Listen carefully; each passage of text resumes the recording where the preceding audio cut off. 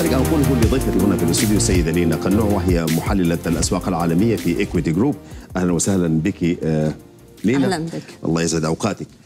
ويعني رغم ال- الاحتياط الفدرالي خرج بتصريحات إيجابية فيما يتعلق بالتعافي وتوزيع اللقاحات وما إلى ذلك لكن السوق والمؤشرات الأمريكية لم تستقبل ذلك بذات الحفاوة ولمسنا تراجع حتى في عوائد السندات وفي الأسهم انعكس على الدولار. لماذا في رأيك؟ آه، بالنسبة لأسواق الأسهم الأمريكية بعد التصريحات الفيدرالي الأمريكي يعني آه، قال أنه مثل آه، انعطاف نحو استمرار النمو وأيضا أبدى توقعاته للتوظيف والنمو الاقتصادي أنه يرتفع بقوة خلال الأشهر الثلاثة المقبلة. فبالتالي رغم كلها الذي تحدث عن موضوع التعافي الاقتصادي وتوقعات صندوق النقد الدولي أيضا للولايات المتحدة الأمريكية بأن تحقق أيضا نمو ب 6.14% ليس بعيدين يعني عن التوقعات التي كانت من الفدرالي الأمريكي يعني تقريبا بنفس النسبة تقريبا توقعات الفدرالي الأمريكي لنمو الاقتصاد في الولايات المتحدة الأمريكية.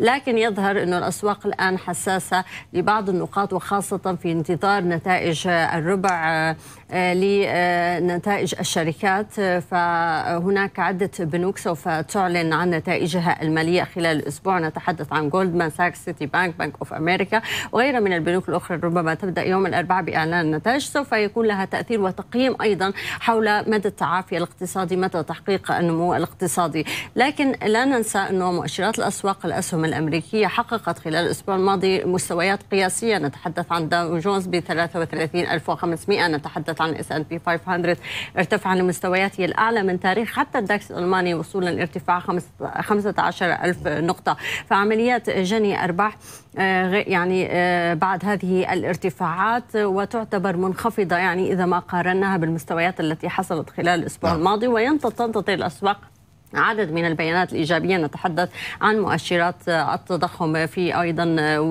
مؤشر وبيانات التصنيع وغيرها من المبيعات التجزئة التي سوف تبرز آه، يعني كيف توقعات من الت- التفاؤل من آه، في النمو الاقتصادي. ولدينا ارتفاع في عدد الإصابات بفيروس كورونا عم نشاهدها في العالم. نعم.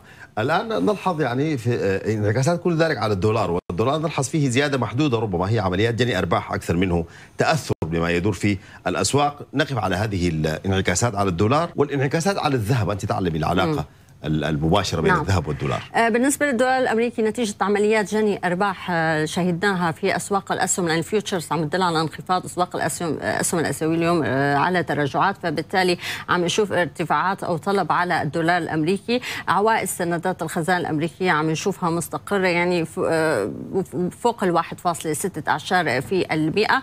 آه، طبعا يعني هل هناك ارتفاعات يعني على المدى القصير ربما نشاهدها على الدولار الأمريكي. لكن كما ذكرت بالنسبة للذهب وعلاقته العكسية نحن نتحدث عن الذهب ما زال على المدى الطويل. كل المحفزات إيجابية لأن نتحدث عن ارتفاع في التضخم وتوقعات إنه نشوف ارتفاعات في التضخم يعني انخفاض في القدرة الشرائية للنقد. لكن إذا ما نظرنا الآن إلى الذهب وما سبب الانخفاض للذهب خلال اليوم وحتى أبقى ال- يعني الارتفاعات التي شاهدناها خلال الأسبوع الماضي تعتبر محدودة بعد ما لمس- لامسنا مستويات ال 1750 لعده أسباب. هي اولا ما زال التضخم منخفض في العديد من البلدان التوجه نحو أسواق الأسهم وكيف شفنا الارتفاعات. أيضا آه، آه، يعني آه، هناك أيضا التعافي الاقتصادي. كما ذكر إنه آه، صندوق النقد الدولي غير متكافئ بين الدول المتقدمة وأيضا الدول النامية. فهذا كلها عوامل تجعل الذهب في نطاقات ضيقة. لكن على المدى الطويل نتحدث عن ارتفاعات. يجب أن آه، بين ارتفاع عدد الإصابات بفيروس كورونا هناك مخاطر وبين تسارع وتيره التعافي الاقتصادي. نحن توقعات صندوق النقد الدولي الدول المتقدمة إنه يشهد آه، آه، ستة- آه، 5.1 عندنا توقعات للدول الناشئة والنامية بخم ب 6.17% وأيضا متوقع لبريطانيا نعم. الصين ارتفاعات أيضا نترقب مزاد للسندات فخاصه نعم تفضل. نعم. لا يعني جيد. وصلت الفكرة فيما يتعلق بهذا الاتجاه. لكن على ذكر عدد الإصابات بالفيروس وارتفاعها يبدو أنها تضغط أيضا على أسعار النفط. هل هذا هو كل شيء في النفط أم أن هناك عوامل أخرى تجعله يتراجع.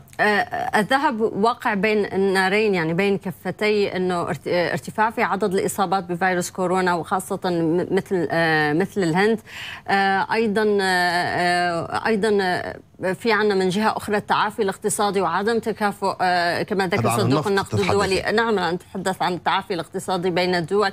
فبالتالي نحن نتحدث عن إذا نظرنا إلى المخزونات الأمريكية كيف تراجعت تقريبا ب 3.6 مليون برميل يوميا فهو أعلى من متوسط آه، الخمس سنوات. يعني نتحدث عن المخزون الآن ب 498.3 يعني أعلى من متوسط الخمس سنوات ب 3% أو أعلى من متوسط بداية هذا العام. آه، آه، فبالتالي ارتفاع عدد الإصابات بفيروس كورونا يجعل بعض الضغط الهابط على المدى القصير بالنسبة لأسعار النفط لكن التوقعات ربما نشهد ارتفاعات لأسعار النفط على المدى الطويل في حال ثبت أنه في تعافي اقتصادي خلال النصف الثاني نحن عم نشوف أيضا بيانات إيجابية يعني قادمة من الولايات المتحدة الأمريكية من عدة دول فلكن ارتفاع عدد الإصابات عم يخلي المخاطر مخاوف إنه يقل الطلب على النفط خاصة من دول أوروبا ومن الهند مع وتعتبر من أيضا من الدول المستهلكة للنفط. نعم. أشكرك السيدة لينا قنوع وأنت محللة الأسواق العالمية في إيكويتي جروب شكرا لوجودك معنا. شكرا جزيلا. شكرا طيب.